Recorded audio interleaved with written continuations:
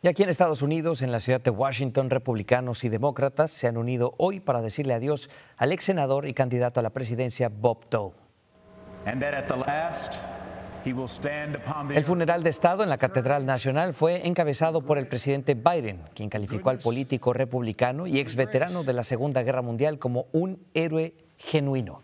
La ceremonia estuvo llena de emoción, llena de recuerdos de la vida y el legado de Doe, quien murió el domingo a los 98 años. Sus restos luego fueron trasladados al memorial de la Segunda Guerra Mundial antes de ser enviados a su natal Kansas.